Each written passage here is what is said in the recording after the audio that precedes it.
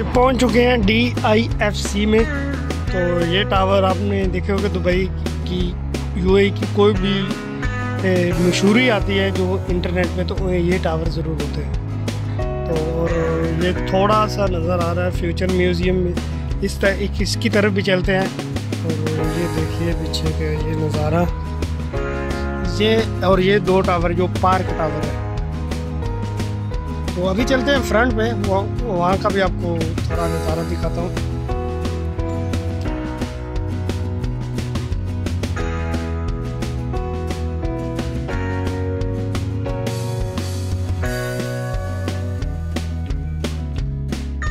Aslam welcome back to my YouTube channel उम्मीद है कि सब दोस्त के से आज मैं एक ऐसी जगह पर आया हूँ जहाँ पर मैंने तलाबाद में ज्वाइनिंग की थी।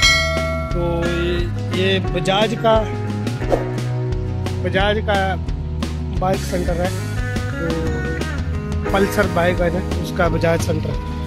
तो यहाँ पर तालाबाद का वेयर हाउस का आज से तकरीबन चार साल पहले 2019 की बाइक बात कर रहा हूँ।